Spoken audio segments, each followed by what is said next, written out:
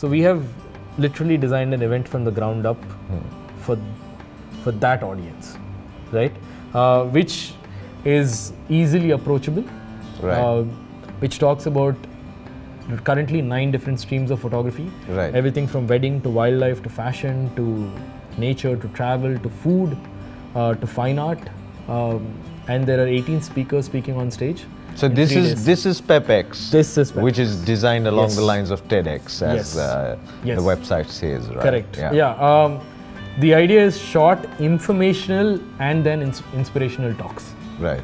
uh, which will hopefully spur you into a journey of discovery in photography. Uh, if you're a travel photographer who's never gotten into portrait photography, hopefully PEPx will make you a slightly better travel photographer, Right. but also maybe spark an interest into another genre Yeah. which you were afraid of getting into. Uh, the people speaking on stage are the most experienced in their respective genres, Right. right?